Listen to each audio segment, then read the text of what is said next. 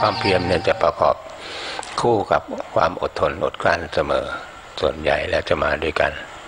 ถ้าเป็นซึ่งกันและกันอยู่งั้นมันมีความเพียรความอดทนก็เกิดขึ้น เราเคยไม่ทนทนอะไรไม่ได้จะตามใจเราทุกอย่างนั้นสังเกตให้ดีๆ ก็จะเห็นว่า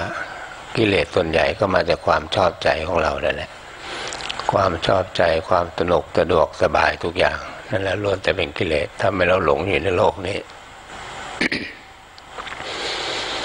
หลงความสุขโดยที่เราไม่เห็นความทุกข์ที่แท้จริงของเรา นั้นผู้มีปัญญาก็มาปฏิบัติเจริญสติปัฏฐานสี่เจริญกรรมฐาน ฐานที่ตั้งของการกระทำของจิต ก็ทำให้เราได้เข้าใจได้ว่าจิตนี้เป็นอย่างไร กายนี้เป็นอย่างไรเราเรามารู้ความจริงได้เราจะเห็นเลยว่า ปัญหามันอยู่ที่นี่เองงั้นมนุษย์ทุกคนเนี่ยรักตัวเอง ไม่ยอมทิ้งหรอก คนเราเนี่ยไม่ยอมตายง่ายๆหรอกมันจะรักกายตรงนี้มาก ถึงเวลาจะตายมันก็ตุรนทุรายที่จะยื้อชีวิตให้อยู่ได้ มันห่วงกายมากทำไงเราจะเห็นความจริงของกายได้ว่า มันเป็นสิ่งที่เป็นปฏิกูล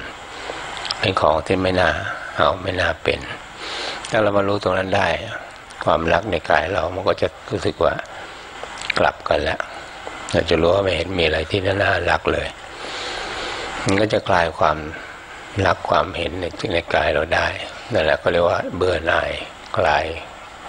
กำนัดของความอยาก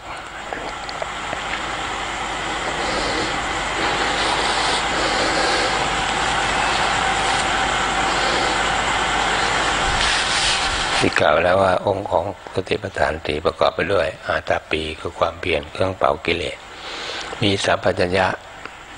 ก็คือกายเราทั้งหมดเนี่ยรู้ทั่วพร้อมกาย มีสติก็ระลึกได้ระลึกรู้เพราะนั้นการฝึกสติคือการระลึกรู้เฉยๆที่กายเรา โดยไม่ได้คิด รู้เฉยๆรู้แต่ไม่คิด ถ้าคิดก็เป็นนิวก็เป็นนิวรณ์นิวรณ์เริ่มจากความคิดนี่แหละเพราะมันจากทามันอยู่ด้วยกัน แล้วเราปล่อยคิดเมื่อไหร่ก็จะเป็นนิวรณ์ขึ้นมา นิวรณ์ก็เป็นตัวที่กั้นไม่ให้เราสู่ความสงบได้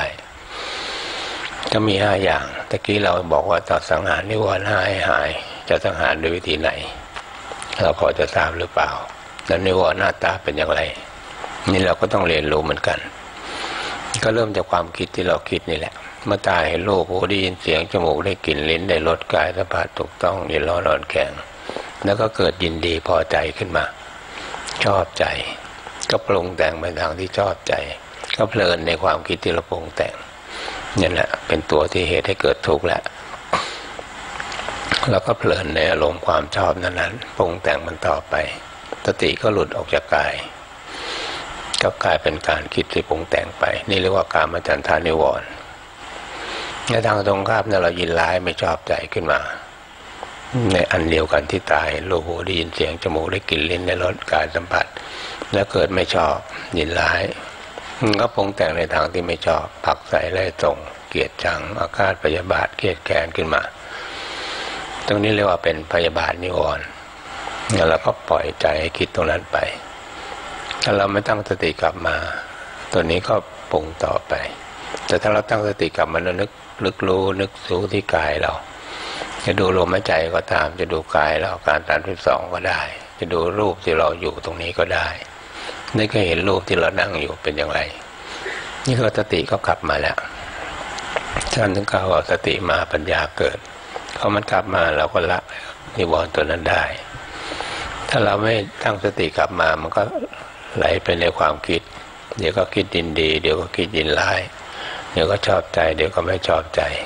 ก็ปรุงแต่งอยู่ในความคิด ปล่อยให้มันไหลไปในความคิดเพลินในอารมณ์นั้น แล้วก็เกิดหงุดหงิดงุนงานฟุ้งซ่านลำคาญใจ อันนี้เป็นอุตจักกุกุจานิวรณ์เราก็ต้องตั้งสติกลับมาที่กายเราอีกถ้าเราปล่อยให้มันไหลต่อไป มันก็จะคิดต่อไปเรื่อยแหละไม่หยุดไม่ยัง้งความคิดเนี่ยมันประมาณไม่ได้ เราห้ามไม่ได้ซะด้วย แต่เราแยกมันเราลึกรู้ได้เพียงแต่เรามานึกรู้ที่กายเราเท่านั้นแหละมันก็จะดุดก็จะดับไปได้ นี่เป็นการสังหารนิวรณ์แต่ถ้าเราปล่อยให้มันคิดต่อไป มันก็คิดไปเรื่อยนะเขาแล้วเขาก็สงสัยว่าจะทำไปทำไม จะทำแล้วได้ประโยชน์อะไรมานั่งเฉยมานั่งดูอยู่ตรงนี้ก็ปวดทรมานด้วย เขาก็สงสัยพระพุทธเจ้ามีจริงหรือเปล่าจะปฏิบัติได้ผลจริงหรือเปล่า ก็เป็นวิจิกิจฉาในวร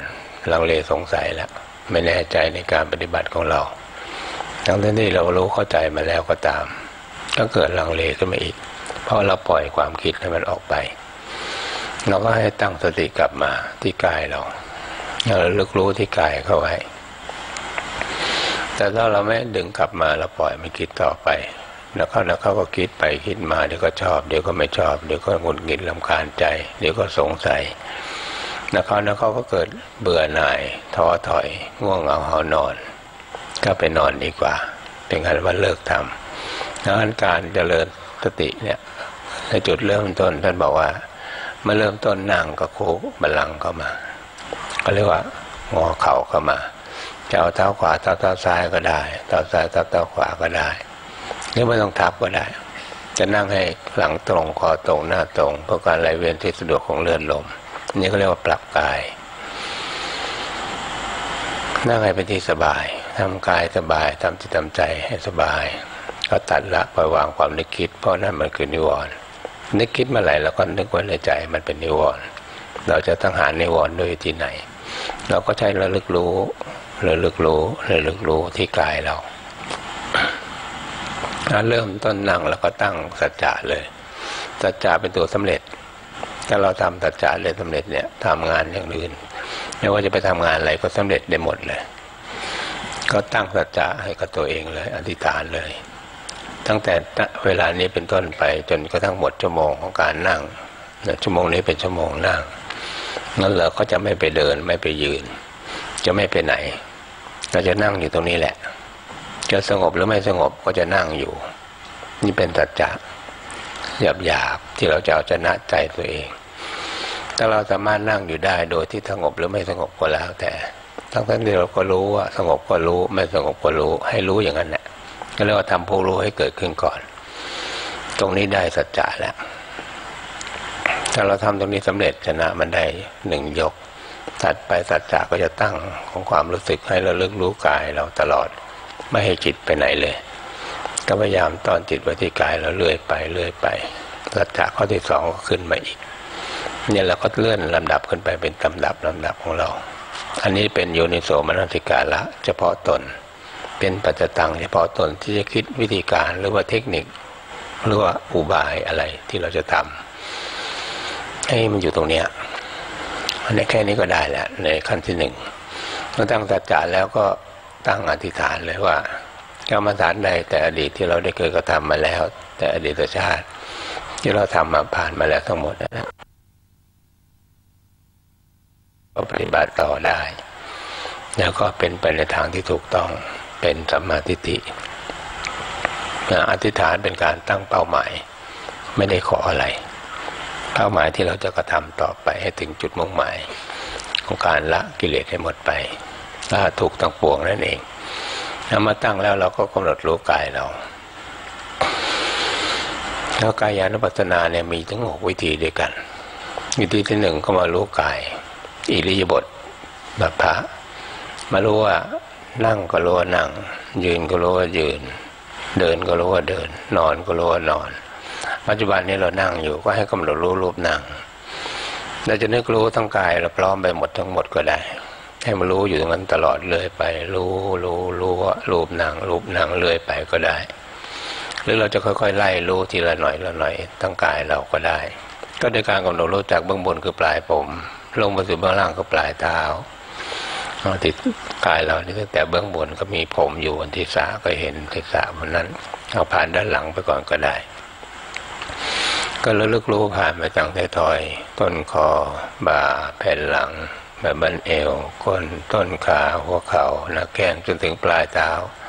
ก็กำหนดรู้รูปนั่งแล้วก็พิจารณากลับมาจากเบื้องล่างกับปลายเท้ากลับมาถึงเบื้องบนกับปลายผม ก็ระลึกรู้รู้ขึ้นมาเรื่อยๆ ไม่เห็นก็กำหนดรู้ไปก่อนทำผู้รู้ให้เกิดขึ้นนั้นเราเคยรู้เคยเห็นมาแล้ว นึกเอาแต่ภาพที่เรานั่งหรือถ้าเห็นไม่ชัดก็ลืมตาก็มาดู แล้วก็หลับตานึกใหม่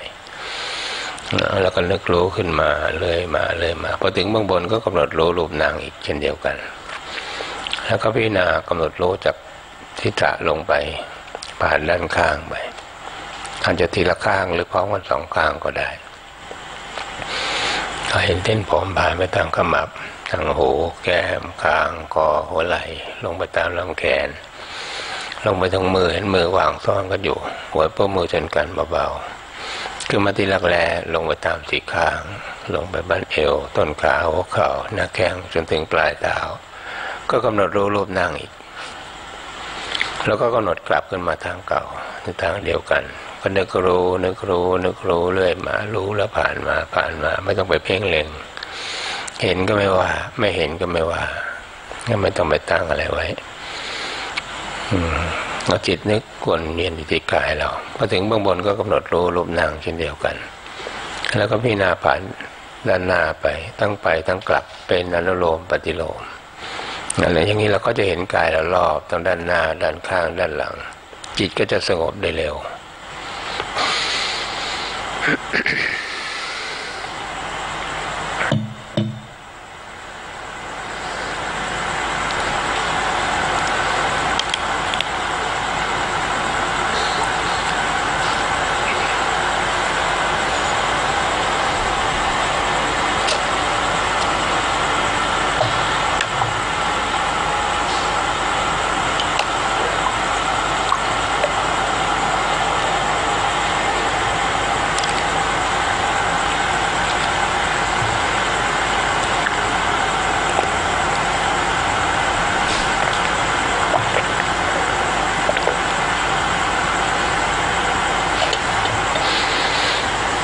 การเจริญสติไม่ต้องทำให้นิ่ง ไม่ต้องทำให้ว่างจะนิ่งหรือไม่นิ่งก็ไม่ว่าอะไร จะเป็นของมันเองตามธรรมชาติ แต่เพียงตามให้รู้ ให้รู้ไปรู้ไปเรื่อยๆกำลังรู้กายเราไปนี่เป็นวิธีที่หนึ่งวิธีที่สองเรียกว่าสัมปัญญาบาปะก็รู้กายที่นั่ง นี่เป็นท่ามาตรฐานนั่ง ถ้าเราขยับกายไม่ว่าจะเคลื่อนย้ายกายขยับก็เยื่อนอย่างไรก็แล้วแต่ก็ให้รู้การขยับก็เยื่อนนั่นแหละเขาเรียกว่าอิริบทปะพะเป็นหรือว่าสัมปัญญาปะพะ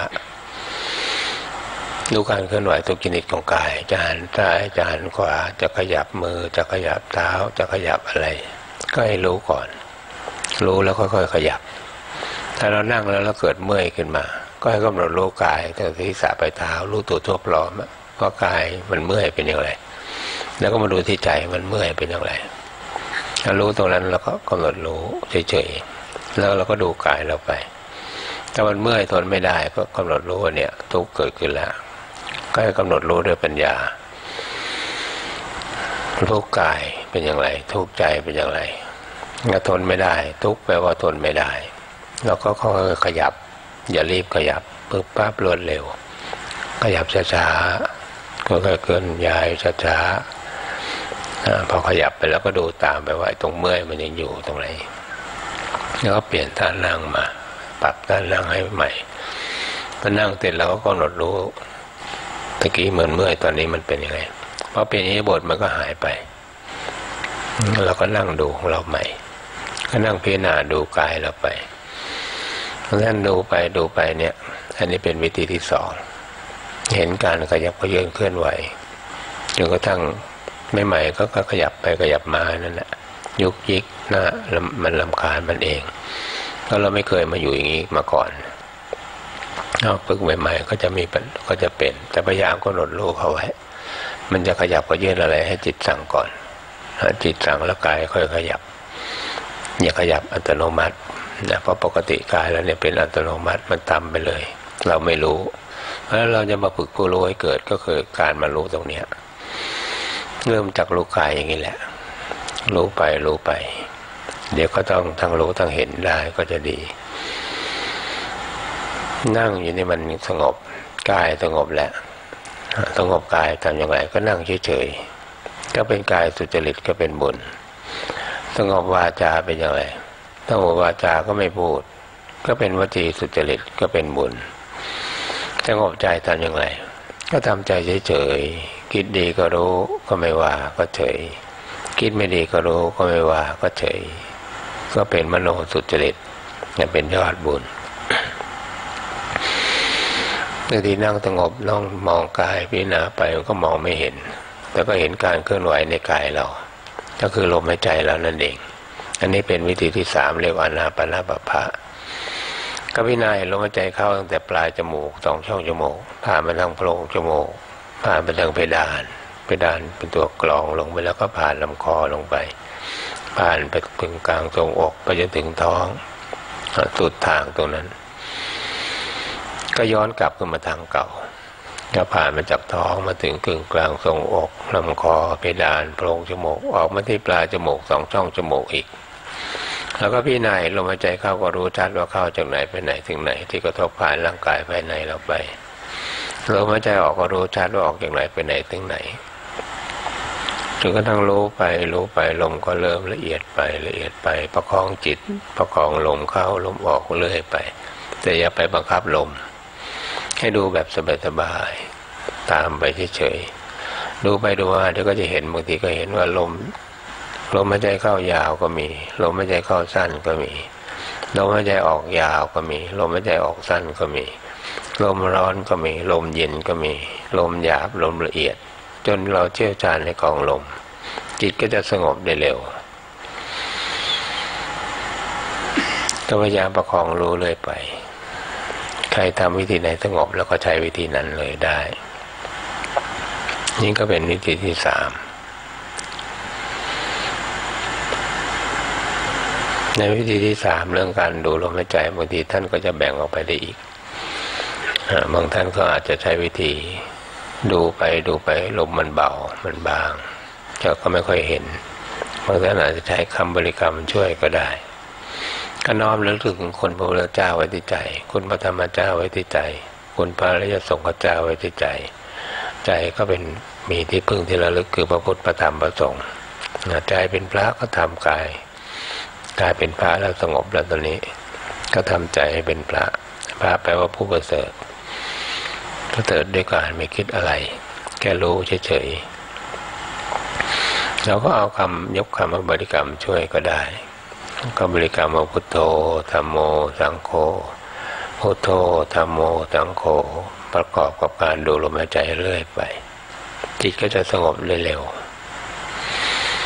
หรือถ้ารู้สึกว่ายาวไปก็ตัดออกเหลือพุทโธคำเดียวก็ได้ การกล่าวนามพระพุทธเจ้าเนี่ยก็เป็นคำที่ศักดิ์สิทธิ์ ลึกถึงคนพระพุทธเจ้าก็เป็นบุญแล้วก็เราก็นึกถึงไปเลยก็พุทโธพุทโธพุทโธพุทโธดูลมหายใจเข้าลมหายใจออกประกอบไป โดยที่ไม่บังคับลม ดูแบบสบายบางท่านอาจจะเคยจินมาแล้วก็ทำต่อไปน่าจะใช้วิธีดูลมหายใจเข้าก็นึกพูดลมหายใจออกก็นึกโธลมหายใจเข้าพูดลมหายใจออกโธก็ได้ ก็กำหนดรู้เรื่อยไป แต่อย่าไปบังคับลม เดี๋ยวจะเหนื่อย ก็ทำให้แบบสบายๆนั่งไปนั่งไปบางทีหลังมันจะงอลงงอลงตามธรรมชาติ แล้วก็ยืดมันขึ้นมา ไม่ต้องกลัวสมาธิจะเกิดหรอกสมาธิจะเกิดหรือไม่เกิดเราไม่สนใจ รู้แต่เพียงว่าเราจะทำสติระลึกรู้กายเราแบบเนี้ย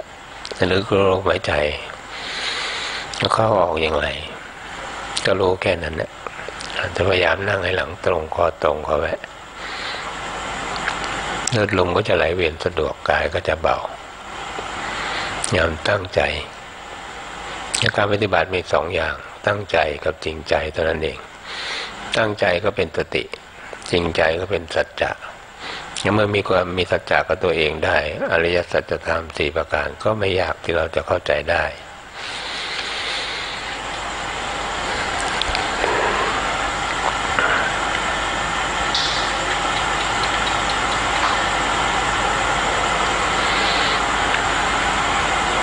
นี่วิธีที่สามวิธีที่สี่บางท่านก็อาจจะถึงตรงนี้ก็ยังไม่สงบก็อาจจะใช้วิธีเอาอาการสามสิบสองเรียกว่า ปฏิกูลระบับพระก็เป็นรู้ชื่อไว้เฉยก็คือดูอาการสามสิบสองของเรานั่นเอง ก็เอามาท่องบางท่านก็เอามาท่องเลยก็ได้ถ้าท่องจำได้ เกษาผมก็นึกถึงผมแวบอยู่ที่ไหน โลมาขนก็นึกถึงขนนะขาเล็บก็นึกถึงเล็บแบบหนึ่งทันตาฟันก็นึกถึงฟันแวบหนึ่งตาโจหนังก็นึกถึงหนังแวบหนึ่งลอกหนังก็เป็นมังสังเนื้อก็นึกถึงเนื้อแวบนะหาโลก็เอ็นที่ปันอยู่รอบกระดูก อัติก็กระดูกอัติมินจังก็เยื่อในกระดูกเดี๋ยวถ้าท่องได้ก็ท่องไปท่องไปดูตามไป นึกตามไปเรื่อยไปเรื่อยไป จิตก็จะสงบได้เร็วหรือยกมาแค่ห้าอย่างก็ได้กายภายนอกมีเกสาผมโลมาขนนักขาเล็บทันตาฟันตะโจหนังพอลอกหนังก็ไปเป็นเนื้อเส้นเอ็นโครงร่างโครงกระดูกตับไตไส้ปอดอันนั้นก็เป็นกายภายใน แล้วก็ใช้แค่กายภายนอกก่อนก็ได้แล้วเอามาบริกรรมช่วยก็ได้ เกตาโลมานาคาทันตาตาโจ แล้วก็กลับตาโจทันตานาคาโลมาเกตาเกตาโลมานาขาทันตาตาโจตาโจทันตานาขาโลมาเกตา ก็บริกรรมกลับไปกลับมาที่นี่แหละจิตก็จะสงบเร็วๆหรือเราจะบริกรรมประกอบประการนึกรู้ด้วยก็ได้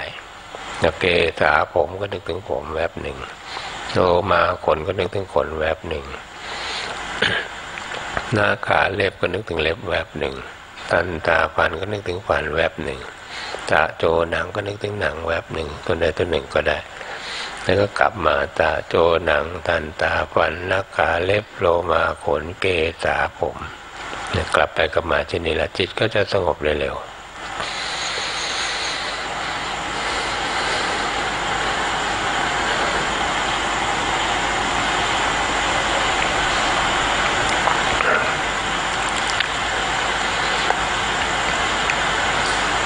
นี่ก็เป็นวิธีที่สี่แล้ว ถึงก็แยกย่อยออกไปได้อีกถ้าไปวิธีที่ห้าถ้าใครไม่ยังไม่สงบวิธีนี้ ก็พิจารณาความเป็นธาตุทั้งสี่ถ้าบอกว่าส่วนแข็งเป็นดิน ส่วนเหลวเป็นน้ำส่วนตึงๆไหวๆเป็นธาตุลม ส่วนในความอุ่นกับร่างกายก็เป็นธาตุไฟบางทีนั่งอยู่รู้สึกร้อนๆก็จะรู้ว่าธาตุไฟออกมาแล้ว ปรากฏได้เห็นอันนั่งดูลมดูไปดูมาก็เห็นลมหายใจเข้าหายใจออกก็เห็นธาตุลม แต่ตัวที่นั่งอยู่นี่ก็เห็นเป็นธาตุดินแข็งอยู่ ส่วนที่ไหลเวียนในร่างกายก็จะไหลไปเรื่อย ก็เป็นธาตุน้ำก็กำหนดเด็กรู้ไปอย่างนี้ก็ได้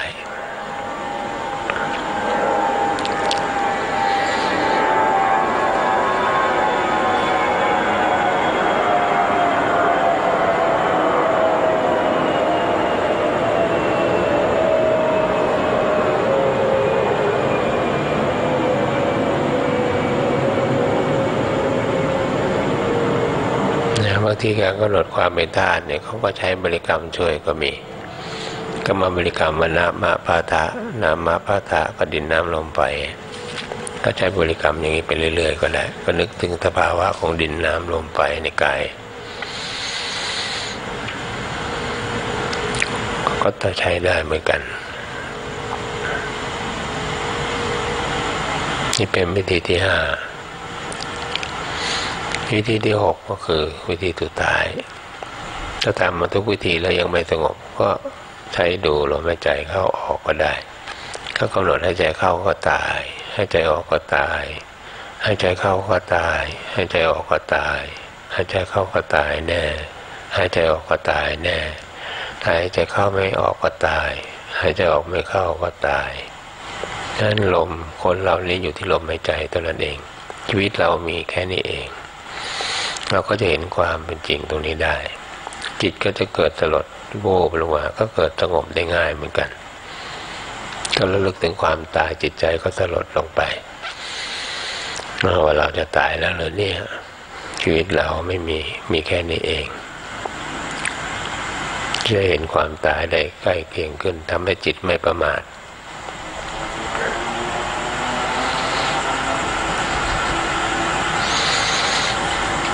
แต่วิธีที่หกนี้ท่านเรียกว่า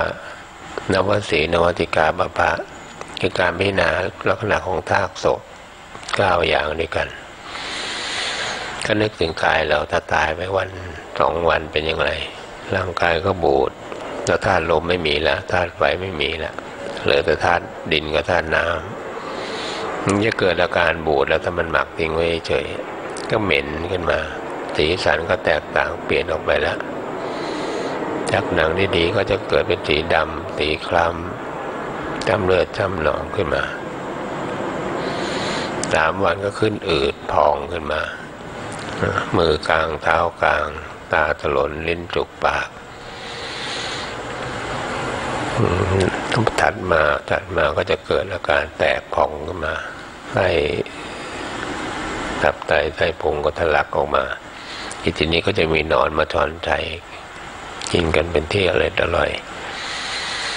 แล้วก็ซากศพที่เป็นท่อนท่อนท่อนท่อนถูกตัดขาดเป็นท่อนท่อนหรือว่าซากศพที่เดินโดนแรงกามาจิกจิกทิ้งสุนัขต่างๆมาฉีกมาถึงดึงกินกันอยู่อะไรอร่อยเช่นเดียวกันหรือว่าซากศพที่มีแต่โครงร่างของกระดูกอย่างเดียวคือพี่นาเห็นทักศพที่เป็นโครงร่างของกระดูกแต่กระจายกระจายกันอยู่ ศีรษะไปทางแขนไปทางมือไปทางเท้าไปทางกระจายกันออกไปอันใดหนึ่งก็ได้ ให้นึกถึงตรงนั้นออกมา ถ้าเราได้สิ่งไหนแล้วเราก็เอาตรงนั้นที่ถูกจริตเราก็เอาอย่างเดียวเลยนั้นเสียงที่ฟังนี่ก็เป็นสักแต่ว่าเสียงแล้วก็จับประเด็นของเราไว้ ตรงไหนที่เราทำแล้วรู้สึกนะถูกจริตแล้วละมองแล้วรู้สึกโปร่งโปร่งโล่งๆเบาๆสบายดี หรือว่าเห็นได้ชัดเจนขึ้น มีความระลึกรู้รู้ได้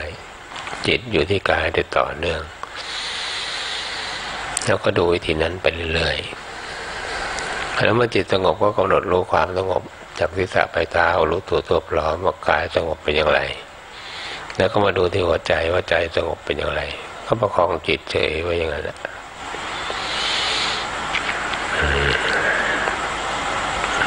บางครั้งบางทีมันจิตสงบขึ้นมาเนี่ย เราประคองจิตรู้อยู่บางทีมันเกิดคิดขึ้นมาโดยที่เราไม่ได้คิดนะนะตรงนั้นธรรมะก็เกิดขึ้นมาแล้วถ้าเราธรรมะผุดขึ้น ก็จะเกิดเป็นคำที่เราทำให้เราจำแม่น แล้วก็ทำให้เข้าใจในธรรมะหรือรู้วิธีการปฏิบัติที่แยบยนต์ขึ้นไปของเราเขาเรียกว่าเป็นเฉพาะตนปัจจตัง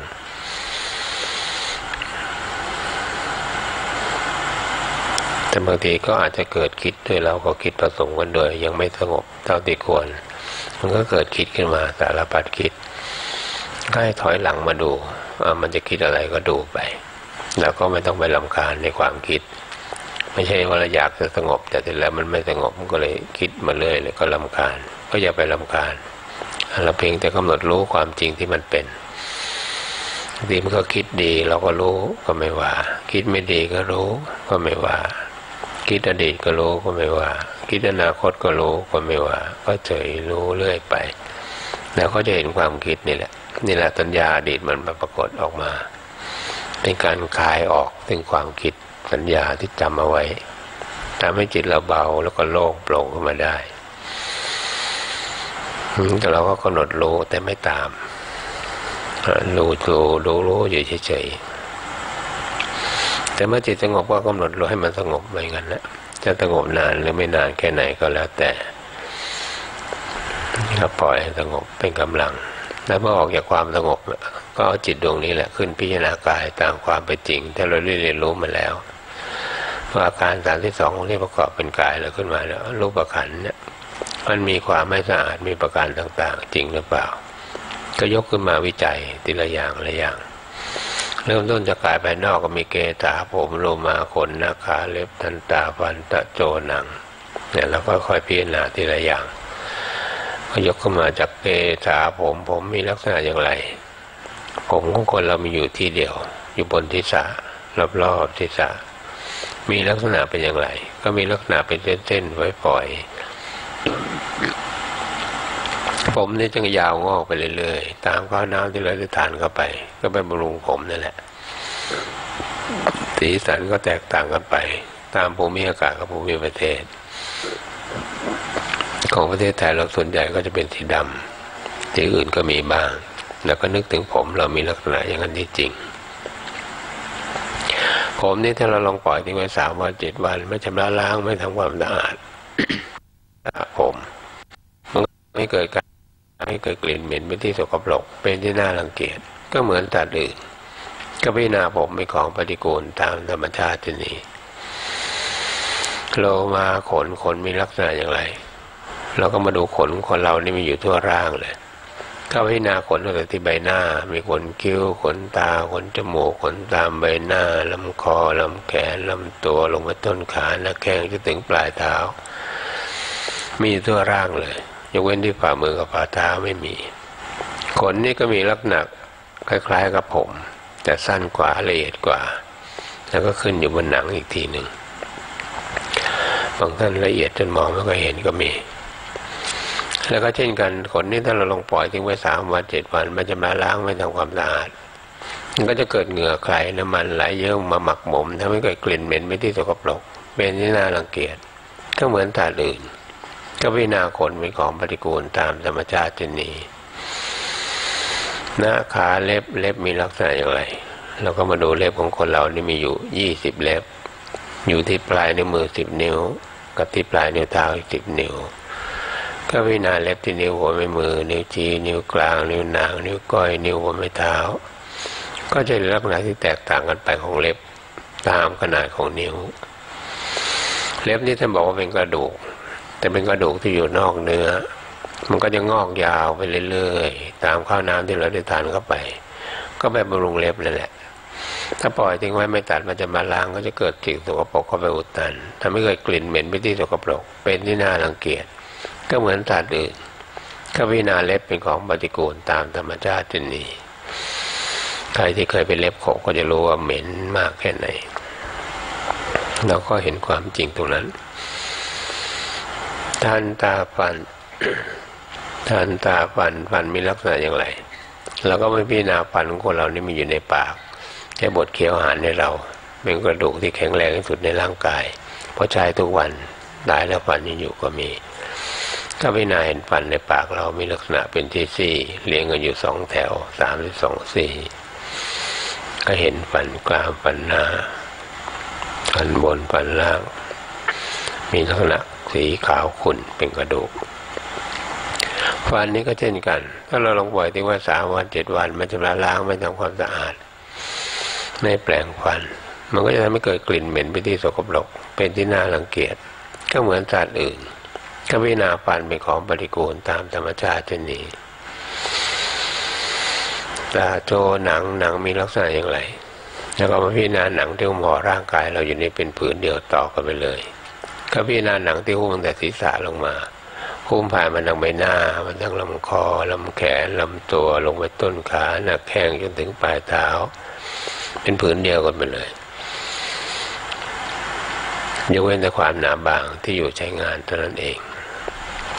หนังนี่เป็นวัสดุอัศจรรย์ของมนุษย์ ที่จะควบคุมธาตุไฟที่อุณหภูมิ37องศาตลอด ยามใดที่หนังเราร้อนผิดปกติก็จะรู้ว่าอ๋อธาตุไฟเราเพิ่มขึ้น มากกว่าปกติ ก็อาจจะทำให้เราเป็นไข้ได้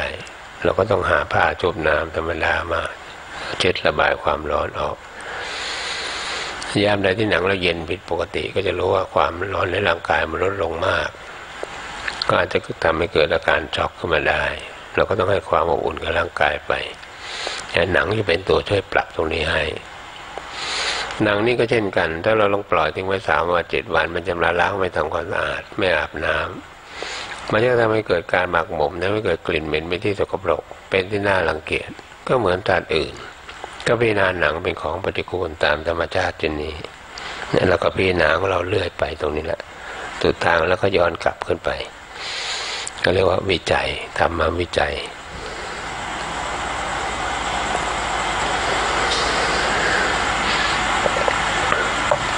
เราว่าจิตที่สงบ ออกจากความสงบมาแล้วเนี่ย จิตดวงนี้เป็นจิตที่ควรกับการงาน จะเป็นจิตที่ไม่อคติกับตัวเอง ไม่เข้าข้างตัวเอง จะเป็นกลางฉะนั้นเมื่อพิจารณาเห็นความจริงตรงนี้ได้ จิตมันจะถอนความยึดมั่นถือมั่นในกายเรา ที่เรารักกายเรามากเนี่ย เราจะเห็นความจริงตรงนี้ได้ เมื่อเห็นความจริงที่เป็นอย่างนี้จริงๆยอมรับขึ้นมาจิตก็จะถอนความยึดมั่นชั่วขณะขณะที่พิจารณาไป อันนี้ก็จะสะสมไปเรื่อยๆเรื่อยๆตามความเปลี่ยนพยายามที่เราก็ทำอยู่เป็นประจำสม่ำเสมอ ถ้าเราเห็นแบบนี้ทุกวันทุกวัน ความหยิ่งยโสโอหังถือมั่นถือตัวถือตน มันก็จะลดน้อยลงไป เพราะเราเห็นความจริงแล้ว แล้วความจริงนี้ก็ทำให้เราถอนลงไปเรื่อยๆเราก็จะเห็นว่าความที่เรารักตัวเรามาก มันไม่มีอะไรเป็นแก่นสารจริง ๆ มันก็เป็นปฏิโคนอย่างนี้จริง ๆ ทุกคนก็เหมือนกันหมด ไม่มีใครวิเศษกว่าใครมีลักษณะเป็นอย่างนี้จริง ๆ นั่นนี่คือเรียกว่าเห็นความจริง รู้จริงขึ้นมาแล้วงการปฏิบัติในเริ่มต้นด้วยการเป็นไปเพื่อความสงบระงับ ให้มันสงบให้มันระงับ ความคิดโชคณะ เป็นไปเพื่อความรู้ยิ่ง ก็รู้ยิ่งขึ้นไปว่าความสงบเป็นอย่างไร เป็นไปเพื่อความรู้จริง อันนี้ก็เริ่มจะรู้จริงขึ้นมา ที่สุดแล้วก็ไปรู้แจ้ง แล้วก็เป็นไปเพื่อความดับ ดับกิเลสทั้งปวงนี่ก็เรียกว่ารู้แจ้งตรงนี้เอง แจ้งชัดจริง ๆ ว่ากายเราเป็นยังไงใจเป็นยังไง ความยึดมั่นถือมั่นก็จะถอนออกเราก็จะเป็นแค่ธรรมดา ทุกอย่างก็ไม่มีอะไรที่จะยึดมั่นถือมั่นได้ เป็นเช่นนั้นเอง เป็นเพียงสักตวธาตุตามธรรมชาติ นี่คือวิธีการที่จะปฏิบัติให้เข้าใจแล้วมันจะพัฒนาจิตก็เรียกว่าภาวนา พัฒนาจิตขึ้นขึ้นไปเรื่อยๆอยู่ของเราแล้วก็โดยปกติก็ต้องพิจารณาไว้ตลอดทำได้ทั้งวันทั้งคืนเลยในการทำสติให้รู้กายเนี่ยงั้นสมาธิเราไม่ต้องทำถ้าจะทำสมาธิเราจะบอกว่าไม่มีเวลา แต่ถ้าทำตรงนี้แล้วก็มันมีเวลาตั้งแต่ลืมตาตื่นขึ้นมา ก็ให้รู้สติ ให้มีสติรู้ตัวเอง มีสติแล้วมีกำลังมันก็จะเกิดปัญญาขึ้นมา เริ่มเข้าใจขึ้นมาล้วสิ่งต่างๆ ในโลกเราก็จะเข้าใจมากขึ้นไปเรื่อยๆตามลำดับต้องการพิจารณาบางคนพิจารณามาถึงตรงนี้ได้บางทีก็อาจจะเกิดกายเบาจิตเบาขนลุกสู้ซาจูจันเย็นรูปว่า ถึงน้ำตาไหลก็มี อันนี้ก็ปิติก็เกิดขึ้นแล้วก็ให้กำหนดรู้ว่ากายเป็นอย่างไร ใจเป็นอย่างไรเพราะจิตมันมารู้ความจริงได้ มันก็จะเกิดปราโมทเบิกบานเราชนะเราได้ตรงนี้ก็เกิดปิติขึ้นมาเรารู้ไว้เฉยก็ประคองจิตไว้จะอิ่มกายอิ่มใจปลื้มอกปลื้มใจขึ้นมาจะสักครู่เนี่ยมันก็จะดับไปเป็นธรรมดา เมื่อไปติดดับไปเราก็ไปมิตกวิจารใหม่ ก็ไปพิจารณากายเราเหมือนเดิมหรือจะพิจารณาลมหายใจก็ได้ที่ตกวิจารในลมหายใจจนจมละเอียดเข้าละเอียดเข้าจนลมหายใจมันหยุดก็ไม่ต้องกลัว มันหยุดก็หยุดไป ไม่ตายหรอก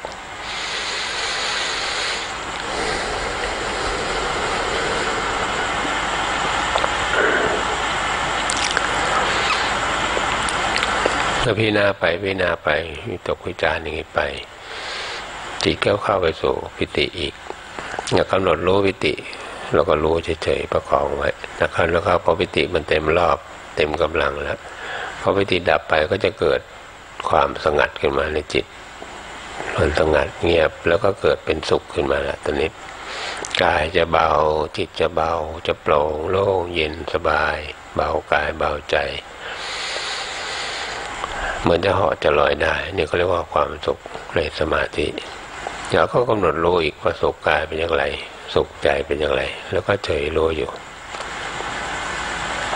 ถ้าว่าสุขดับไปถ้าเต็มกำลังก็จะเกิดเป็นเอกกตากายเดียวจิตเดียว จิตเป็นหนึ่งนี่แหละจุดมุ่งหมายที่เราเดินไปถึง ตรงนี้เป็นปฐมมรรคหรือปฐมฌานเข้าตู่ ปฐมมรรคอริยมรรคก็เกิดขึ้นแล้วไอ้ทีนี้เราก็มาพิจารณากายเราให้มากขึ้นจนเห็นชัดเจนขึ้นมา ก็เริ่มมีความรู้เกิดขึ้นมากมาย เป็นปัญญาที่เกิดขึ้นมานักเข้านักเข้าก็จะอาจจะเห็นขึ้นมา ก็ทั้งทั้งรู้ทั้งเห็น ก็จะชัดแจ้ง นี่ก็อยู่ที่ความเพียรพยายามที่เราจะกระทำสม่ำเสมอ มัชฌิมาปฏิปทาเนี่ยไม่ต้องทำมากไม่ต้องทำน้อย จะทำเป็นประจำสม่ำเสมอเท่านั้นเองเดินทางด้วยความสม่ำเสมอ เวลามันเดินไปทุกวินาทีทำไงเราจะรู้ได้ตลอดแบบนั้นนั้นศีลสมาธิปัญญาเนี่ย ซึ่งกันและกันมันจะอยู่ด้วยกันนั่นแหละ อันนี้เป็นการเจริญมรรคเปีองแปดหนึ่งที่พระเจ้าทรงแสดงไว้แล้ว แต่เป็นขั้นต้นขั้นปฐมที่เราเริ่มต้นจิตจะละเอียดขึ้นไปสู่ความละเอียดมากไป ตามลำดับ ก็เรียกว่าพัฒนาขึ้นไปภาวนา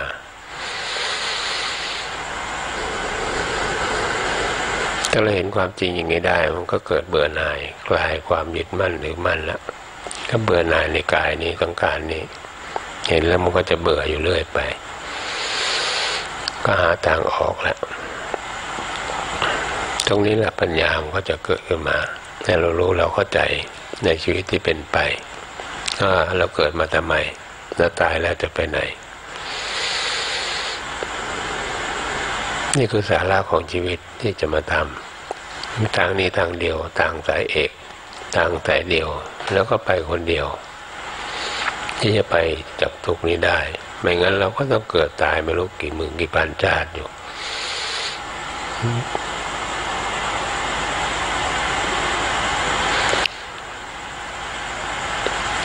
พยายามอย่าทิ้งกาย ต้องดูกายไว้ตลอด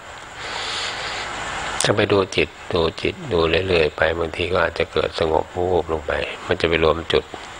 แต่ถ้าดูกายนี่ก็จะเห็นกว้าง ถ้าเรารู้กายเนี่ยก็เรียกว่าเป็นวิปัสสนา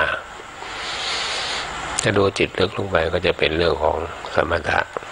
จิตก็จะสงบลึกลงไป แต่ความสงบที่เข้าไปลึกๆมาก ๆ ตรงนั้นก็จะทำให้ไม่เห็นวิปัสสนาได้ยากเหมือนกัน ดังนั้นท่านถึงบอกว่าความสงบไม่ต้องมาก แต่พิจารณากายให้มากๆมันก็จะเกิดวิปัสสนาญาณขึ้นมา ตัวนี้จะสะสมไปเรื่อยๆจนกระทั่งมันไปแจ้งสว่างขึ้นมาทำให้เราเข้าใจงานกลไกการทำงานของร่างกายเรา ทีนี้ก็จะแยกออกกันห้าได้ถูกแล้วว่า รูปประคันเป็นอย่างไรที่เห็นเป็นรูปมีอันเดียวถ้าที่เห็นเป็นนามมีอยู่สี่อย่าง เวทนาขันเป็นอย่างไร นั่งอยู่นี่มันเป็นทุกข์ทุกข์ยังไง ทุกกายเป็นอย่างไร ทุกใจเป็นอย่างไรนั่งเวทนาขันกองแห่งเวทนา สัญญาความจำได้หมายรู้ ก็เกิดเป็นสัญญาขึ้นมาอย่างไรจำมันตั้งแต่เมื่อไหร่ถึงได้รู้ตรงนี้ขึ้นมา สังขารก็ปรุงแต่งคิดไปตัววิญญาณก็เป็นผู้รับรู้ตรงนี้นั้นจะสังเกตว่าปัญหาเกิดจากตรงนี้เอง จริงๆ วิญญาณก็คือตัวจิตเดิมแท้มันก็อยู่เฉยๆ เป็นปกติ แต่เมื่อเกิดการกระทบกันของอายตนะทางตาทางหูทางจมูกทางลิ้นทางกายทางใจ ก็เกิดเป็นวิญญาณตรงนั้นขึ้นมา ก็ไหลออกไปโดยการผลักดันเป็นความทยานอยากออกไปแต่ตัวนี้ล้วนแล้วแต่มีรากเป็นอวิชชา เพราะเราไม่รู้นี่ไม่รู้ในทุกกายทุกใจ ไม่รู้เหตุของทุกอยู่ที่ไหนไม่รู้ข้อปฏิบัติของการดับทุกได้ เราก็เลยดับไม่ได้ นี่คืออวิชชาที่ไม่รู้ก็เลยทำให้เกิดความหลงนั่นเองเราก็หลงเป็นตัวเราอยู่ตลอด ถ้าเรามาวิจัยมาแยกแยะออกแล้ว เราก็จะแยกออกกันหน้าออกมาได้พอรู้ขันห้าตรงนี้เราจะรู้เหตุเกิด จากที่ตาเห็นรูปมันก็เกิดเป็นเวทนา ชอบไม่ชอบ ชอบก็เป็นทุกขเวทนา ไม่ชอบก็ทุกขเวทนาเมื่อเวทนาเกิดมันก็เกิดความทยานอยากขึ้นมาแล้วถ้าชอบ ชอบก็อยากจะได้ ไม่ชอบก็ไม่อยาก ไม่อยากได้ก็ปรุงแต่งนะความจำปัญญามันจำได้ว่าเป็นอะไรพอจำได้แล้วสังขารก็ปรุงแล้วชอบแบบไหนยังไงให้ได้มา ได้มาแล้วก็มายึดไว้เป็นอุปทาน ยึดมั่นถือมั่นไว้เลยสะสมไปเรื่อยเลย นี่คือความหลงที่เรามีนั่นก็เริ่มจากตรงนี้เอง ดังนั้นท่านถึงกล่าวว่าจิตที่ส่งออกมันเป็นสมุทัยก็มันออกไปทางตาทางหูทางจมูกทางเล่นทางกายเรา แล้วก็ทางใจที่เก็บเอาไว้แล้วก็มาคิด ตาหูจมูก ลิ้นกายเนี่ยกระทบแล้วมีวิญญาณ วิญญาณก็มาส่งไปที่จิตวิญญาณเป็นตัวกลางอายนะที่หกนี่เองนี่ก็ทำให้เราเกิดสารพัดดังนั้นเมื่อจิตสงบก็คือหยุดคิดนั่นแหละเราจะรู้ความสงบที่แท้จริง มันก็จะเกิดพัฒนาไปเรื่อยๆอันนี้เป็นขั้นต้นของการปฏิบัติ เป็นพื้นฐานที่เราจะต้องเรียนรู้แล้วก็ต้องกระทำต่อไป ด้วยความเปลี่ยนชอบอันวิริเยนะทุกขมาเจติบุคคลจะล่วงทุกได้ก็เพราะความเปลี่ยนดังนั้นนั่งๆเนี่ยอาจจะใช้วิธีที่ว่าก็ได้ เป็นวิธีที่หกนะวิธีที่หกตนามารวบรัดใช้วิธีแบบลอกกายเราออกมาก็ได้ นั่งอยู่นี่ก็ผ่ามันเลย นึกกำหนดรู้มีมีดกังอันหนึ่งมาก็มาผ่ากายเราเป็นสองซีกเลยก็ได้ หรือก็ล้อล้อล้อมันออกแล้วก็ถลกหนังมันออกมา ลอกหนังเอาไปกองข้างหน้าเรากองหนึ่งพอหนังออกไปแล้วก็กำหนดรู้ที่กายว่าเป็นยังไง ตอนนี้หนังไม่มีแล้ว ก็เห็นเลือดเล่นเอ็นเล่นเลือด เห็นเนื้อแดงๆมีเลือดปะปนอยู่ทั้งมีทั้งไขมันก็มี ทั้งผืดก็มี แล้วก็เลาะเนื้อมันออกมีดันเดิมแล้วก็ค่อยเลาะเนื้อเลาะเนื้อออกไป ก็ไปกองไว้ข้างหน้าอีกกองหนึ่งจนหมดแล้วก็พิจารณาที่เหลือ ก็จะเห็นของล่างของกระดูกมีเส้นเอ็นรัดดึงผูกติดกันไว้ ข้างในก็จะเป็นตับไตไส้ปอดพุงต่างๆ แล้วก็ดึงเอาพุงเอาตับไตไส้พุงมันออกมา ก็ดึงมาออกทางคอเหมือนเราเคยทำเป็ดทำไก่พอดึงออกมามันก็ยกมาทั้งพวงเลยก็มากองไว้ข้างหน้าอีกกองหนึ่งแล้วเราก็พิจารณาตอนนี้ก็เห็นแต่โครงร่างของกระดูกเปล่าๆกายเรามีแต่แค่นั้น ก็มีสีขาวแล้วก็มีสีเลือดติดอยู่บ้าง เนื้อก็ติดอยู่เล็กน้อยนี่ก็ยกเอากระดูกออกมา ยกกระดูกศีรษะ กระโหลกออกไปวางไว้ดึงแขนดึงขาดึงที่โครงดึงลำตัวออกไปไปกองเอาไว้ข้างหน้าเราตอนนี้ก็มีสี่กองนี้กัน มีหนังอีกกองหนึ่ง มีเนื้ออีกกองหนึ่ง มีตับไตไส้ปอดอยู่กองหนึ่ง มีโครงล่างโครงกระดูกอยู่กองหนึ่ง แล้วก็นั่งพิจารณาดูกายเราก็มีแค่นี้เอง แล้วก็เราก็เริ่มจะออกอาการส่งกลิ่นเหม็น ก็เห็นเป็นปฏิโกณที่เห็นอยู่ต่อหน้า แล้วก็เอามารวบรวมเข้ามากองเดียวกัน แล้วก็จุดไฟเผามันเลยเผาไปก็ลุกไหม้ไปไหม้ไปไหม้ไปจนกระทั่งมัน หมดไป เหลือขี้เท่ากองเดียว อันนี้กายเราเหลือแค่นั้นเองอารมณ์พัดมาก็ปิวผ่านไปกี่เท่าก็กระจายไปหมด ไม่มีอะไรเหลือ เกิดเป็นความว่างขึ้นมา ตอนนี้จิตสงบตอนนี้ก็มี ก็เห็นความว่างสว่างสงบ ก็ดูอยู่แค่ตรงนั้นนะก็ใช้ได้เหมือนกัน วิธีไหนก็ได้ที่เรารู้สึกสะดวก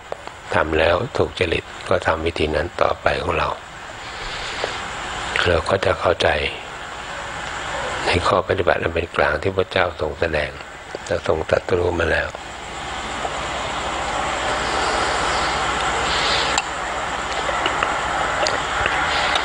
อย่าพยายามปล่อยให้มันง่วงเหงาหอนอน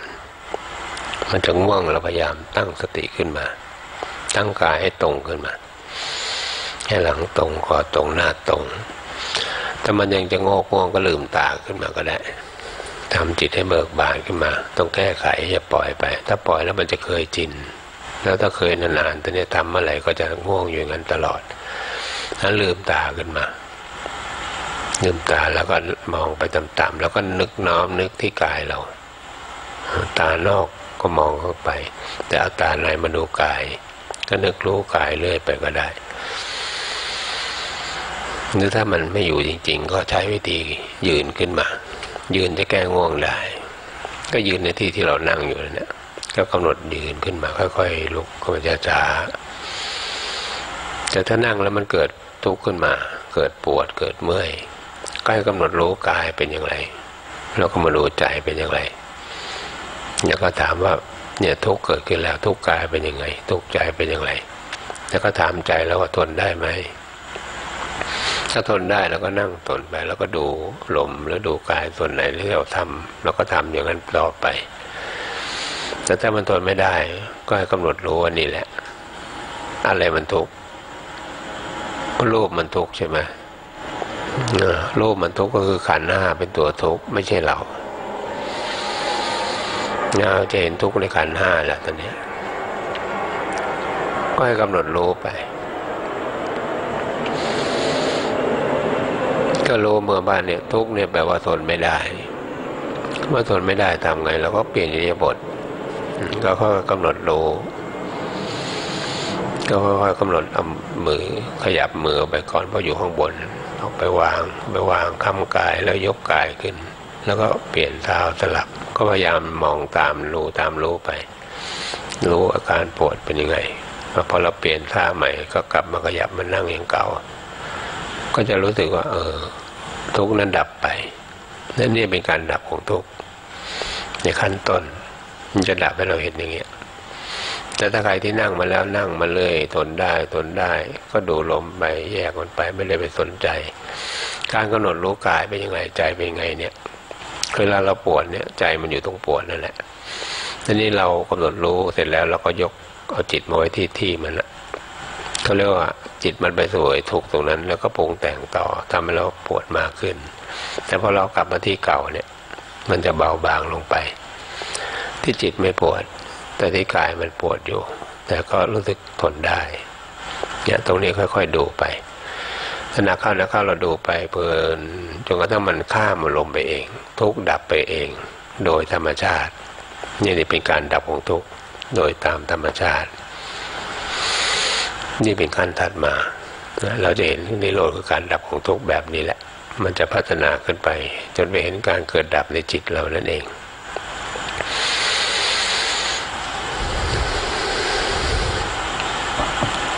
ที่ลุกนี่แสดงว่ายอมแพ้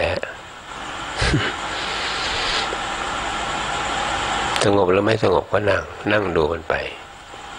ดูใจเรานี่แหละมันเป็นอะไร มันเพราะอะไรมันถึงอยากจะไปไหนเห็นเข้าไปแล้วก็อยากจะไปใช่ไหมเพราะมันไปลืมไปดู ลืมตาไปดู เนี่ยจิตคนเนี่ยบังคับยากเห็นไหม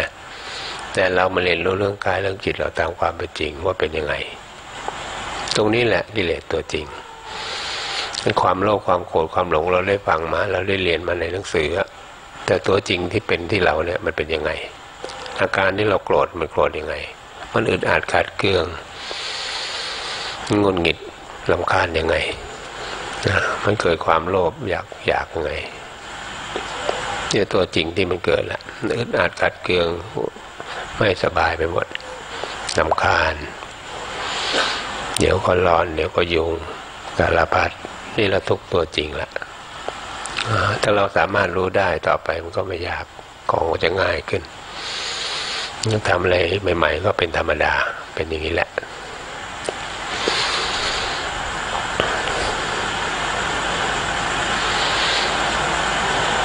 ที่แม้การเจริญสติไม่ใช่ต้องทำให้นิ่ง ไม่ต้องทำให้ว่าง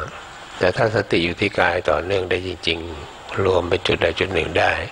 มันจะนิ่งเองตามธรรมชาติ แล้วก็จะว่างไปเองเนี่ยเราไม่ต้องไปบังคับให้เป็นหรอกเพราะจิตเนี่ยมันทนไม่ได้หรอกแต่เรามาฝึกฝนจิตที่ฝึกยาก ดิ้นรนกลับกรอกเจ้าเล่แต่ท่านบอกสามารถฝึกได้ดังนั้นจิตที่ฝึกดีแล้วก็นำสุขมาให้ไงนั้นผู้มีปัญญาก็เลยมาฝึกตรงนี้กันอยู่ เอาละก็เห็นสมควรแค่เวลา ก่อนจะเริ่มนั่งอย่าเพิ่งรีบลืมตาก็ค่อยถอนจิตมาช้าๆฝึกออกจากสมาธิไว้บางทีบางทีนั่งนั่งปล่อยใจมันเกิดสมาธิพลุกขึ้นมา เดี๋ยวก็จะเกิดขยับไม่ได้อึดอัดจะออกก็ออกไม่ได้ ไม่รู้จะทํำยังไงอันนี้ก็ฝึกออกไว้ก็ในการกำหนดรู้นึกรู้ขึ้นมา จากเบื้องบนคือปลายผม ลงมาสู่เบื้องล่างคือปลายเท้า ก็กำหนดรู้กายที่นั่งอยู่ว่านั่งอยู่อย่างไรหรู้ว่านั่งอยู่ที่ไหน รู้ว่านุ่งห่มเสื้อผ้าสีใด ก็ค่อยๆนึกกำหนดไปพวกเราเริ่มต้นเรานั่งอย่างไร ปัจจุบันเราเปลี่ยนท่านั่งไปอย่างไร กี่ครั้งหรือไม่ได้เปลี่ยนก็กำหนดรู้กายของเราไป เมื่อกำหนดกายตัวดีแล้วก็กลับมากำหนดรู้ที่จิตใจตอนนี้เป็นอย่างไร ที่นั่งมาเกิดความกิดฟุ้งซ่านหงุดหงิดกุนงานลำคาญใจ เราก็รู้ว่าอ๋อนี้ เราเจอแล้วนิวรณ์หน้าตาเป็นแบบนี้เอง ต่อไปเราก็ต้องตั้งสติให้มากกว่านี้ เราก็จะสังหารนิวรณ์ได้แต่ที่นั่งมาเกิดความสุขสงบเย็นสบาย นี่บุญเกิดขึ้นแล้ว บุญเป็นชื่อของความสุขสงบเย็น บุญนี้ว่าโดยเหตุก็คือการทำความดีทุกชนิดถ้าว่าโดยผลก็คือจิตที่สงบสบาย เย็นถ้าว่าโดยสภาวะจิตก็คือจิตที่สะอาดบริสุทธิ์ ปราศจากบุญทิน นี่คือเรื่องของบุญ จะประกอบด้วยองค์ประกอบสามอย่างอย่างนี้ดังนั้นบุญใดไม่เท่าบุญสมาธิประเด็นพระคุณหลวงปู่ทวารได้กล่าวไว้เสมอ แม้เพียงช้างกระดิกหูแลบลิ้นไก่กระพือปีกเท่านั้น เพราะฉะนั้นขนาดจิตนี้ของเราทุกๆท่านก็เกิดเป็นยอดบุญขึ้นมามากมาย หลายขนาดจิตก็กำหนดจิตเอาจิตที่บริสุทธิ์ตรงนี้แหละอุทิศส่วนกุศลผลบุญออกไปให้กว้างใหญ่ไพศาลให้ไปหมดเลยทั้งกายทั้งใจ แบบเต็มเต็มใจทั้งหมด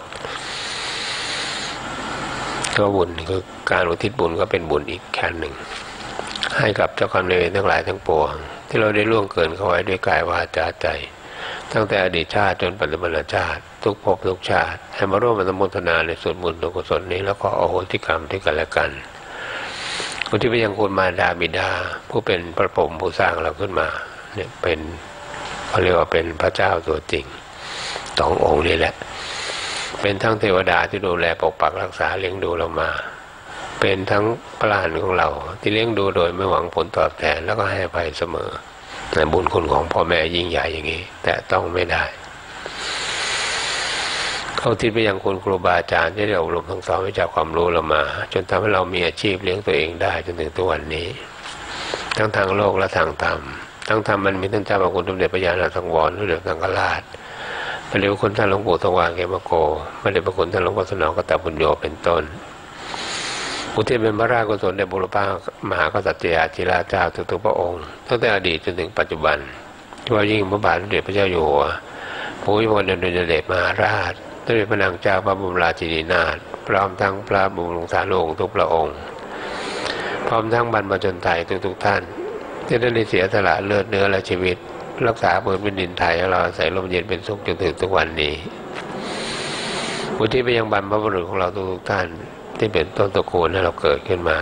ท่านมีปู่ย่าตายายญาติทั้งหลายทั้งเก่าทั้งใหม่ทั้งที่ร่วงลับไปแล้วก็ดี แล้วทั้งที่มีชีวิตอยู่ก็ดี และผู้มีประการละคุณหรือผู้มีพระคุณต่อเราทุกท่านคนที่ไปยังเทพยดาทั้งหลายที่ปกปักรักษากายเราอยู่เนี่ย ทุกคนมีเทวดารักษาทำดีเขาก็มาทำไม่ดีเขาก็ไป ขาทั้งเทพดาทั้งหลายทั่วสากลโลกสากลจักรวาลอันนั้นจักรวาลไม่มีประมาณมีลูกเทวดาผมเป็นเทวดาพระอินทร์พระพรหมยมยักษ์คนทานนาคาท้าจตุโลกบาลพญายมบาล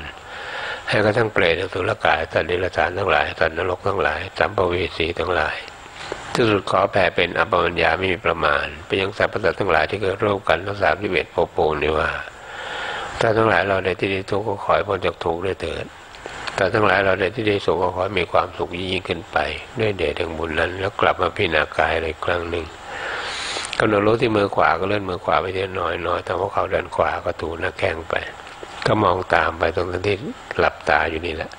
อาจจะเห็นตอนนี้ก็ได้ ไม่เห็นก็ไม่ว่า ไม่เห็นก็ไม่ว่ากำหนดที่มือซ้ายก็เลื่อนมือซ้ายไปทางหัวเข่าด้านซ้ายระหว่างความไว้กำหนดรู้ตัวทั่วพร้อม กำหนดที่มือขวายกเข้ามาระหว่างอกในท่าเตรียมพนมมือกำหนดที่มือซ้ายยกเข้ามาพนมเป็นรูปดอกหัวตูมแทนหัวใจของเรา ตอนนี้ตั้งสัจจะบารมีอธิษฐานบารมี ด้วยปฏิปฏิบูชา เป็นพุทธบูชาธรรมบูชาตังคบูชา ด้วยการเอากายวาจาใจนี้มาเป็นปฏิบัติบูชา ซึ่งเป็นการบูชาสูงสุดที่พระองค์ทรงยกย่องนี้ขอให้เป็นบารมีธรรมยิ่งขึ้นไปด้วยเถิด ขอข้าพเจ้ามีดวงตาเห็นธรรมลงเดชพระสัมมาสัมพุทธเจ้าทรงจัดสรุปไว้ดีแล้ว เป็นสมาธิิจนเกิดเป็นพุทธศาสนาที่ขึ้นมาให้ข้าพเจ้ามีใจตั้งมั่นที่กระทำความดีเช่นนี้ยิ่งขึ้นไป ไม่เสื่อมคลายไม่ท้อถอยก็ทำจนถึงซึ่งมรรคสีผลสีและนิพพานหนึ่งโดยเถิดแล้วจะมือขึ้นจบคลายออกจากสมาธิ ก็อธิษฐานเช่นนี้ทุกครั้งก่อนจะเลิกนั่งปรารถนาสิ่งใดจะได้สิ่งนั้นตามที่ปรารถนา จะแผ่เมตตาพร้อมกัน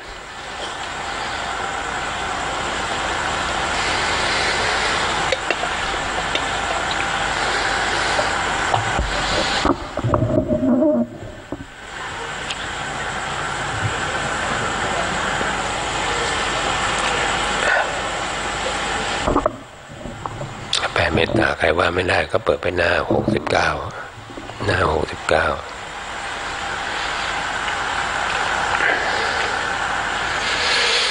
แล้วการเจริญสติไม่ว่าจะเป็นนิบทใด ๆ จะยืนจะเดินจะนั่งจะนอนก็ตามเขาเรียกว่าเป็นการเจริญเมตตาภาวนา คือพัฒนาเมตตาให้เจริญขึ้นสะสมไว้และเมตตาตัวนี้แหละจะไปแก้ความโกรธของเราได้ ไม่มีอย่างอื่นทำได้ นอกจากสิ่งนี้สิ่งเดียวจริง ๆ แล้วถ้าเมตตามีกำลังเต็มได้ ไปแก้ความโกรธได้หมดได้ ก็เรียกว่าปิดนรกไม่ต้องไปแล้วเดี๋ยวตั้งใจแผ่ไปพร้อมกันสาเพตตาตาทั้งหลายที่เป็นเพื่อนทุกเกิดแก่เจ็บตายด้วยกันหมดทั้งสิ้น เราทิศบุญกุศลเขาเราให้หมดด้วย กันหาเวลาจงเป็นสุขเป็นสุขเถิด อย่าได้มีเวรแก่กันและกันเลยอาโรคาจงเป็นสุขเป็นสุขเถิด อย่าได้มีความเจ็บไข้ลำบากกายลำบากใจเลยอาพยาปัจจา